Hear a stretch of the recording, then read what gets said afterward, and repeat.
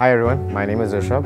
I am part of the AI&DS cohort of 2025 here at Jio Institute. So the academics over here starts from the very foundation level, like statistics and probability, and helps you develop skills accordingly, accordingly, and according to the relevant skills that are required in the market. The updated skills like generative AI. So we cover all the basic topics like machine learning, programming, NLP, etc. That is very much relevant in today's time in today's market. So here at Jio Institute, our campus is placed next to the sea, which gives an amazing view have we have a lot of facilities for both for academic and non-academic activities to validate our learnings, theoretical learnings. We have very up-to-date, uh, state-of-the-art labs, which helps us to garner more skills and develop more application-based approach to things over here. So here at Jio Institute, we have a study abroad program where each year we get to go to a foreign university uh, to develop our skills and understand how things are actually happening in the real world and also develop culture and non-culture uh, skills which helps us to be ready in industry for both India and non-India markets. So this year we had the opportunity to go to NTU Singapore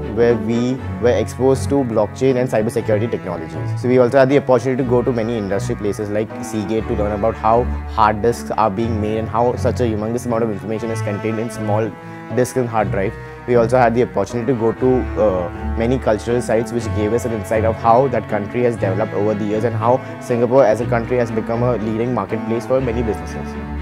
To apply and validate our skills here at Jio Institute, we have an opportunity to intern with many companies. So this year, many companies like Suzlon, Innovati, DBS had enrolled themselves to give us an opportunity to work at these companies. So I personally got an opportunity to work at DBS a data science center. So here at Jio Institute, we had our L&D department help us organize a couple of mock interviews both for technical and non-technical aspects, which really helped the students to develop and uh, develop their skills when it comes to communicating their technical knowledge, which helped a lot of students to be more confident while displaying their skills. So after spending one hard working year here at Jio Institute, we finally came to the placement season where many companies had enrolled themselves for, uh, to hire students from our institute.